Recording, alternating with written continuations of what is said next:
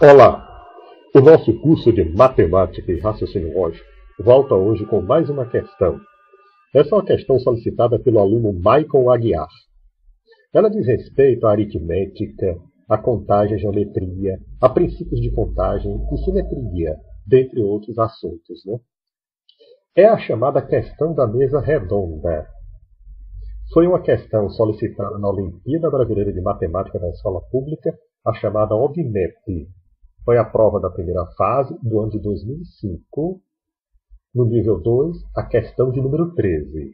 O enunciado desse problema é o seguinte: Para uma atividade com sua turma, uma professora distribuiu 100 cadeiras em volta de uma grande mesa redonda e numerou-as consecutivamente de 1 a 100. A professora, que é muito caprichosa, colocou as cadeiras voltadas para o centro da mesa mantendo a mesma distância entre cada cadeira e suas duas vizinhas. Qual é o número da cadeira que ficou exatamente à frente da cadeira com o número 27? Em primeiro lugar, para problemas desse tipo, a gente deve tomar bastante cuidado e deve tomar uma atitude positiva para resolver a questão. Né? Não ficar somente raciocinando e muitas vezes até com atitude pessimista de que não sabe resolvê-la. Bem, se a gente puder desenhar alguma coisa, se puder refletir, Sobretudo se a gente dividir a questão em partes para depois entendê-la de modo que cada parte possa complementar-se e dar um todo da questão. Né? Então a gente divide, ordena e tenta resolver a questão. Vamos aqui, de acordo com o enunciado, fazer a resolução. Veja bem, para uma atividade com sua turma, uma professora distribui 100 cadeiras em volta de uma grande mesa. Então, em primeiro lugar, nós já sabemos que nós temos aqui né, sem cadeira. Um, dois, três, né? 99 e 100. Perfeito. 99 e 100. A partir daqui, ela distribuiu essas cadeiras em volta de uma mesa redonda. Vamos aqui desenhar uma mesa redonda, né? Supor que aqui é a nossa mesa redonda, certo? E numerou-as consecutivamente de 1 a 100. Então, vamos supor que a primeira pessoa, essa daqui, é a pessoa de número 1. Aqui nós temos a pessoa número 2, né? E assim sucessivamente aqui nesse sentido, né? E a gente vai terminar bem aqui, indo por aqui, vai, vai, vai, vai. Né? E termina aqui na pessoa de número 7, perfeito? Que seria essa daqui.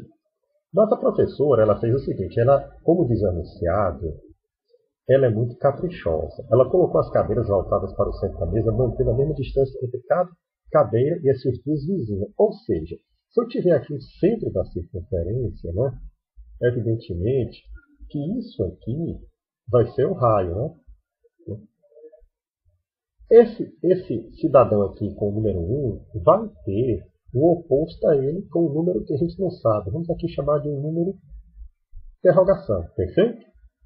Mas, nós queremos exatamente o seguinte. A mesma distância entre 1 e o 2 é a mesma distância entre 1 e o 100, for, né? Então, qual é o número da cadeira que ficou exatamente à frente da cadeira do número 27? Então, se a gente for aqui, ó, tá, tá, tá, vamos supor que a cadeira 27 está por aqui. Perfeito? Cadeira 27. Está aqui a cadeira 27. Bem, a professora disse o seguinte: se ela distribuir uniformemente, então se eu pegar aqui e passar né, uma diagonal que passa pelo centro, obviamente que eu vou ter uma pessoa aqui que é o oposto do 27. Né? Então, esse oposto do 27, eu vou chamar, por exemplo, que seria o número A. Perfeito? Número A, maiúsculo. Então, o que é que acontece? Ela disse o seguinte: distribuição em cadeiras de modo que elas ficam 1 a 100 e as cadeiras voltadas para o mesa, mantendo a mesma distância entre cada cadeira. Então elas são perfeitamente simétricas, duas às duas. Né? E a distância entre duas cadeiras vizinhas, né? é, é, esse número 1 e o número 2, o número, número 100 é a mesma, e assim os demais números. Então, vamos aqui refletir. Olha, pessoal, eu não tenho 100 cadeiras aqui, mas eu já tenho duas cadeiras aqui que eu posso dizer que elas já estão determinadas. É o seu seguinte, que a metade fica de um lado e a metade fica do outro. Então aqui eu tenho uma cadeira e aqui tem outra cadeira. Perfeito?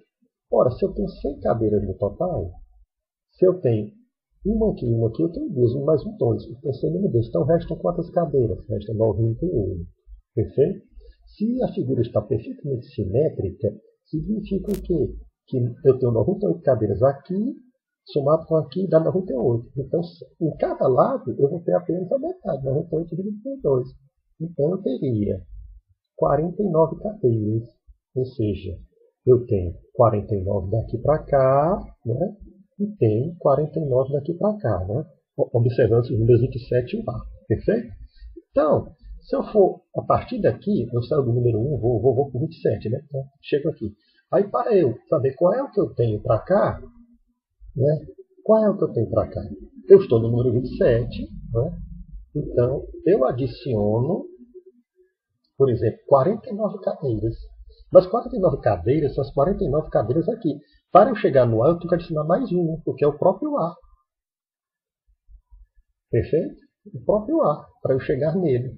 Para ele entrar também na nossa contagem. Aqui é o princípio fundamental da contagem, o chamado EFC, princípio fundamental da contagem. Eu tenho aqui 27, eu somo 49 que estão aqui, porque não inclui esse A, e boto mais um A, que só é uma cadeira. Então vamos fazer aqui esse somatório. 7 mais 9, 16, mais 1, 17. Vai 1. 1 mais 2, 3, 3 mais 4, 7. 77. A resposta de nossa questão, portanto, é o número 77, que está exatamente no item aqui que nós temos D de bola. Grato pela atenção e continue nos assistir. A prestigiar nosso canal avaliar nosso canal e, sobretudo, se inscrever em nosso canal. E mandem seus comentários. Grato.